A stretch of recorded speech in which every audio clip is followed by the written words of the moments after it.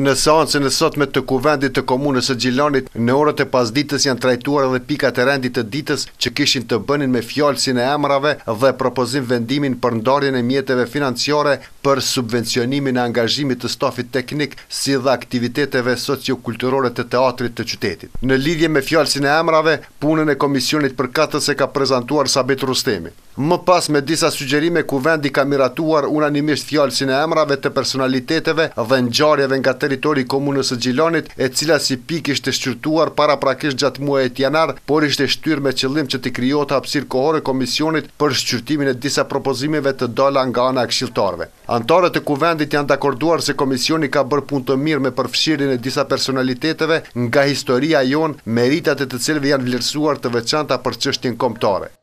Në listë janë inkorporuar, do të thotë janë përfshirë edhe emra si Liman Staneci, Hysen Tërpeza, Raif Sërnica edhe Hamdi Berisha. Kjo nënkupton që janë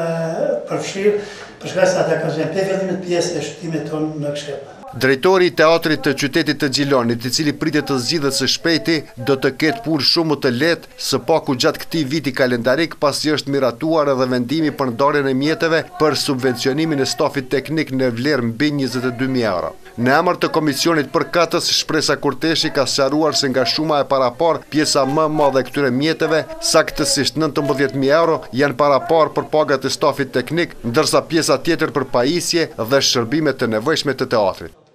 Kjo kërkesë për mjetet financiare në vlerë prej njëzet e dy mijë e katërqind e gjashtëmbëdhjetë eurove ka gjetë mbështetje nga të gjithë anëtarët e Komitetit. Prej kësaj shifre do të thotë nëntëmbëdhjetë mijë e njëqind e shtatëdhjetë e